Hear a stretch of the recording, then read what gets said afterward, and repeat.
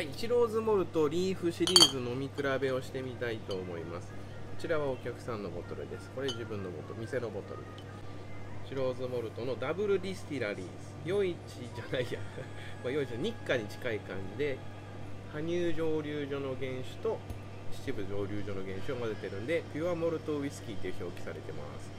まずこれから。うん。かなり甘い。こんな甘かったっけ？なんかストレートの加水のシーンをしてほしい。長編動画になっちゃうな。次行ってみよう。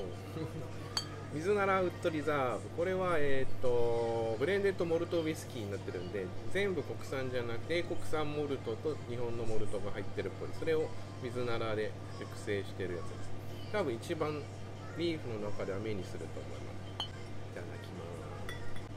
あーど真ん中って感じ。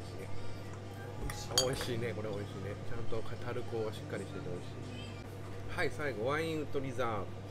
これもさっきと同じでブレンデッドモルトウイスキーで大きいすごいえっとね卵型のねワインダルっていうのが一回蒸留所見学行った時に見たんですけどそれに入れてワインダルの味を入れたワインウッドリザーブ。これ一番好きなウイスキー。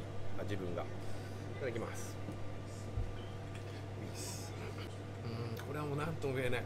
これでしかない。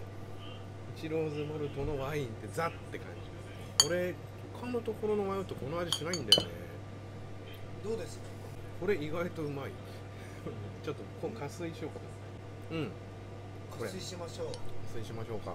この動画長えな。編集大変なんだよ。スいいんだよ。ポイト組んで加水します。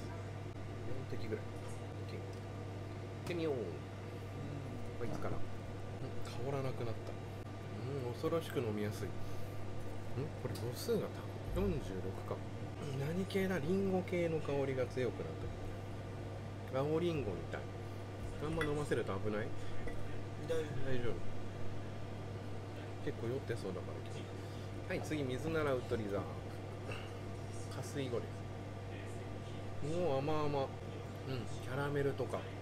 蜂蜜よりもちょっと焦がしたバター的な甘さが本当甘々。香りは青リンゴです、うん。でも味はしっかり。しっかりど真ん中ウイスキーに近いけどかなり飲みやすかった。けどほい次ワインウッドリザー。ブあーほんとすごいよ。ちゃんと赤ワイン。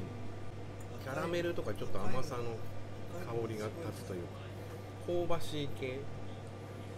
あと白檀とかそういう香木系の香りが。この流れで最後ロックちっちゃい氷入れます。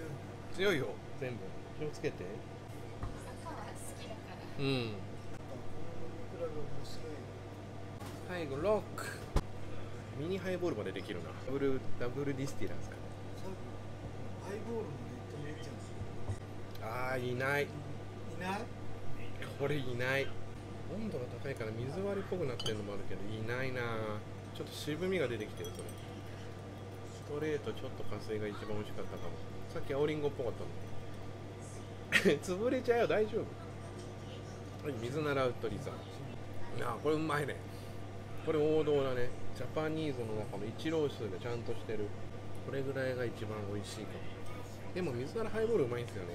ほいワインウッドリザーブそれ水並ぶとさっきちょっと分かんないって言ったやつのロック香ばしさワインワインのワインダルの香ばしさやっぱずっといる。これは美味しい。うん。ケイさん飲んでみんな。それ一緒。めっちゃ衝撃的しますでも見栄え綺麗だよね。綺麗だね。入ってきてないけど。これもハイボール多分好きだったはい最後ミニハイボール。ダブルディスラー。さっきいなかったからな。ああもうこれはもったいない。ねああもったいない。いないもん香らん。それが多分一応封はしてたけどロットが古いんでちょっと薄いリンゴ。もうやめた方がいい水なら。うんこれは美味しいかちゃんとタルコがしっかりまだ残ってる。うん。水なら感。いいと思われます。最後ワイン。2回目だもん。うんちょっと薄くなっちゃったかな。ロックの方がうまかったこんな感じでリーフシリーズ贅沢飲み比べをやってみました。8分になっちゃったねこれ。編集しないと。めんどくさいんだよな。頑張ります。ありがとうございます